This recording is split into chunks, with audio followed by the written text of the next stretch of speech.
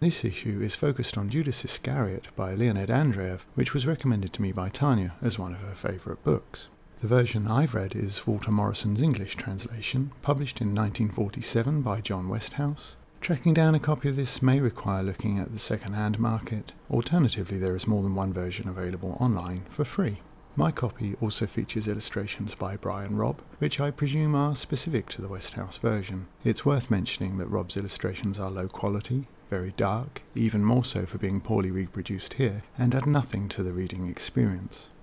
The plot is basically the retelling of Jesus' last few days as seen through the eyes of Judas. Now, if you're watching this video on Pluto and are unfamiliar with the story of Jesus and his betrayal by Judas, this review may contain spoilers, and that was probably the biggest one. The book is short, 100 pages or so in this edition, somewhat short even for a novella, but it still does a pretty good job of getting inside the mind of Judas. It's that familiarity with the thought processes of history's greatest villain that makes this something special. As I mentioned in the third video, this series already has its running cliche of the main character considering themselves to be ugly, despite all evidence and opinion pointing to the contrary, and Andreyev's text also devotes considerable space to the physical attraction, or not, of its lead. But that's because Judas is presented as a twisted grotesque, his head seemingly split into four sections, as if by a double sword blow and then stuck together again. His face is split into two, one side cunning and alive, the other smooth and still. Both sides provoke revulsion and distrust at various points in the tale, but they also represent the two sides of Judas's twisted character, which, like his face, cannot help but unsettle or disturb just about everybody that crosses his path, even seemingly Jesus, who, as we know, was kind of famous for his even temper, among other things. What Andreyev does, which probably back in 1900 or so would have been considered a blasphemy, is present the tortured nature of Judas's soul. Even when he does something that might be considered good, it seems he did it for the wrong reasons, or at least he claims to have. His behaviour makes him unpopular with the other disciples. He pits Paul and John against each other and seems largely the cause of poor Thomas's doubts. But Judas has doubts himself. In part, his actions seem the result of trying to convince himself that he does not believe that Jesus is truly divine, and at other times to convince himself that he does. That, of course, culminates in his betrayal, selling out Jesus for the famous 30 pieces of silver. But Judas watches that unfold with desperation. He's desperate for people to see Jesus for who he is, desperate for the proof of who he is. But, spoiler alert, Jesus gets crucified. The betrayal of Judas through those final scenes is quite powerful and moving.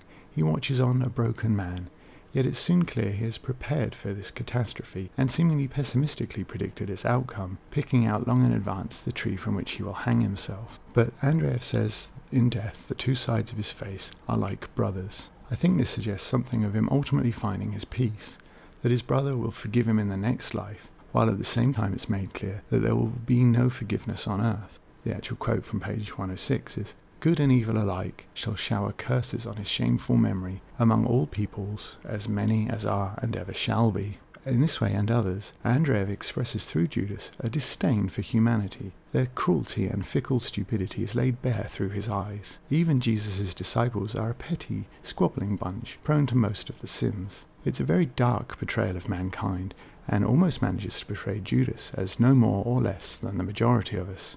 Certainly by the end you can't help but feel something for Judas. It's a pretty dark thought. As always, when working with a translation, it's hard to comment on writing style, but as mentioned, this is a traditional text told in the third person. There is little time spent on scene setting, with most of the narrative focused on trying to dissect the thought patterns of Judas, as well as cataloguing his actions. It does occasionally retread the same ground enough to feel a touch repetitive, but it remains a powerful document nonetheless. Some incidents, such as Judas saving Jesus from a baying mob, are recounted after the event when they might have been more powerful if they were shown in full, but these are minor complaints, if indeed they are complaints at all, about what is ultimately a powerful portrayal. If you're interested in religion or Bible studies, but are not hopelessly dogmatic, or are happy to approach this as simply a work of art, then I would recommend it to you. But mostly, this is a strong study of one of the world's most famous betrayals and betrayers. For that alone, it's worthy of your attention. As always, thank you for watching, and I hope you enjoyed this video. If you did, there are all sorts of buttons for liking, commenting, and sharing, and subscribing. Feel free to use them as you see fit.